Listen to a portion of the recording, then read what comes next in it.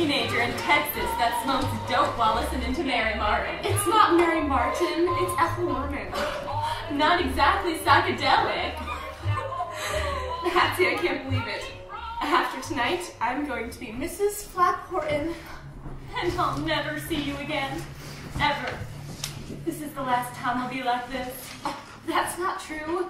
We'll always be best friends, Patsy, and our babies will be best friends. It's always meant so much to me that someone as nice as you love me. Not a lot of people do. Patsy, give me a break. Emma, Uh, just a minute, Mama.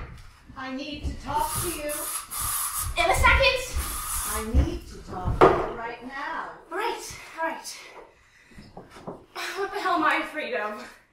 I'm getting married. Would you meet me in my room, please? yes, I would. Maybe she wants to tell you how to have sex. no, she only knows how to.